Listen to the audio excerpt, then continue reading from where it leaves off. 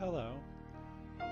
The purpose of today's video is going to discuss how to apply complex gateways to your business process models.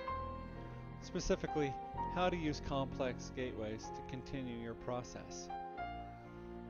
A unique feature of complex gateway is the behavior of the gateway. Complex gateways are in one of two states, waiting for start or waiting for reset, meaning when a token arrives, the process flow may continue. In the following model, we can identify the activation condition.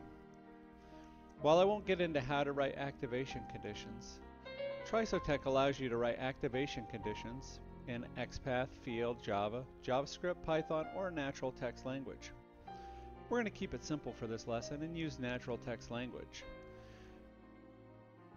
As our process continues, we have four learning paths that are completed in parallel.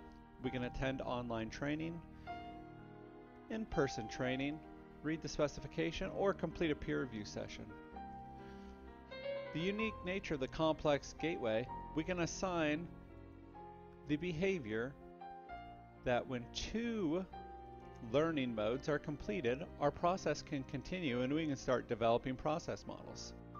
This is because similar in, to learning and then applying BPMN, we don't learn every possible combination before applying our knowledge to build business process models.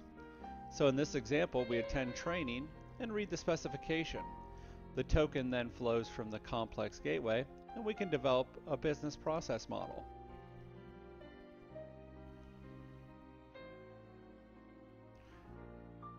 So what would happen if we added another process path for learning BPMN complex gateways.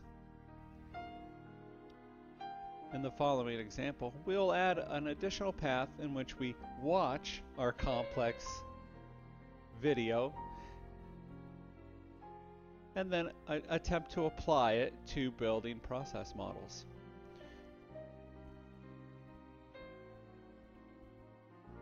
So for this example, we will again keep the behavior of the complex gateway to two learning modes for the process model.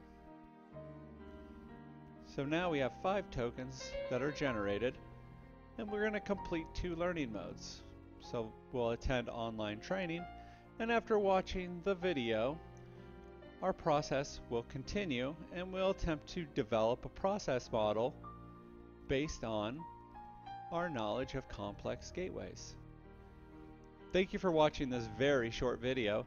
Please leave a comment and tell me what you think. Also, if you're interested in learning more about BPMN, check out our new book, Learning BPMN, a practical guide for today's adult learner.